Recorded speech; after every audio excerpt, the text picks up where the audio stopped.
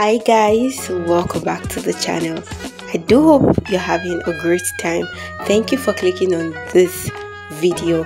And guys today we are back on the family vacation series i mean the Riss and Quan family vacation series. And today it's an entirely different adventure. Now guys in case you are yet to see my last video please go check it out. You'll see that the Riss and Quan family are having such a great time on this family vacation and in my last video it was a different um, fun activity but today we have an entirely different activity. Like i said before today they went out to enjoy the beauty of nature and i think they all definitely had a great time. It's been a complete full house and this vacation i believe will be the best so far because guys of course family time is the best time and they've been having such great time. Shine has been enjoying himself like he's had such a great time